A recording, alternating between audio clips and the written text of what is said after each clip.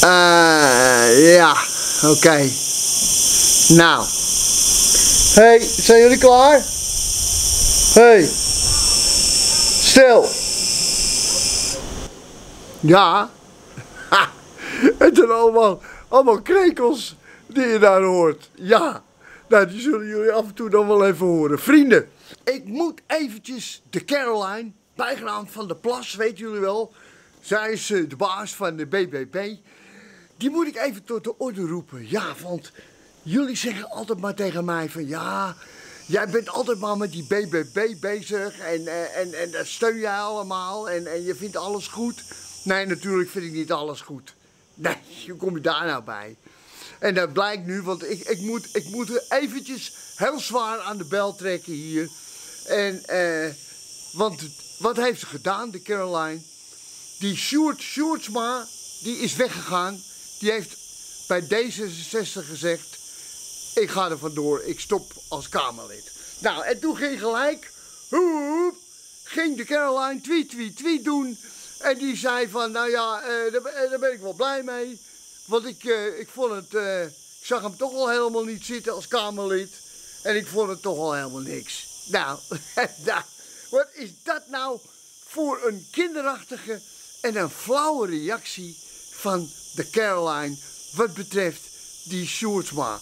Kan, kan mij die Sjoerdsma schelen? En dat moet bij haar ook zo zijn. Wat kan, wat kan haar nou D66 schelen? En, en die man die neemt al afscheid. Ik bedoel, die is al weg. En D66 ligt al op zijn rug. Ja, die zijn al verslagen. En dan mag je niet meer slaan.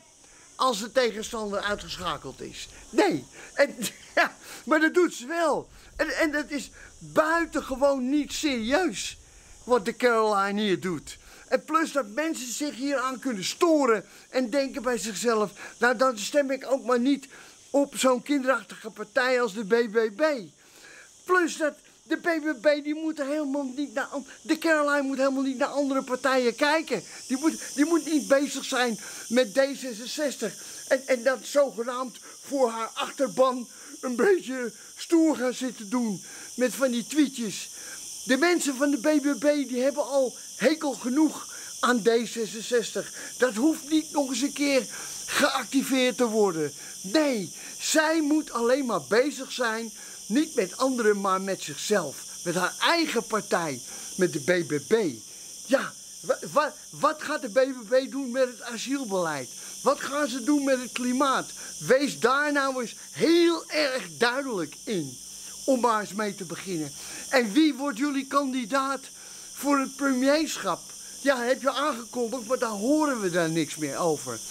Wees daar nou mee bezig. Kijk gewoon naar jezelf en wees met jezelf bezig. Net als in voetbal. Feyenoord doet dat nu ook. Die keken altijd naar Ajax, waren daar altijd mee bezig, zijn nu met zichzelf bezig. En je ziet het. En het gaat gelijk heel erg goed in Rotterdam. En zo moet BBB het ook doen. Gewoon met jezelf bezig blijven.